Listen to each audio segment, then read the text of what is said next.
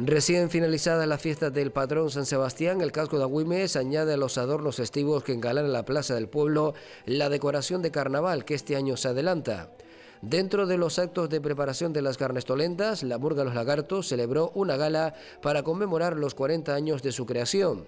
En este acto, que se celebró el pasado sábado en el Teatro Auditorio de Agüimes, se rindió un sentido homenaje a los miembros fundadores y se reconoció a uno de los primeros promotores de la agrupación, Domingo Hernández, así como a Carlos Ortega, Antonio Guedes y Matías Sánchez, a los que se les entregó el lagarto honorífico, anagrama de la murga labrado en madera por el escultor agüimense Eduardo Ramírez.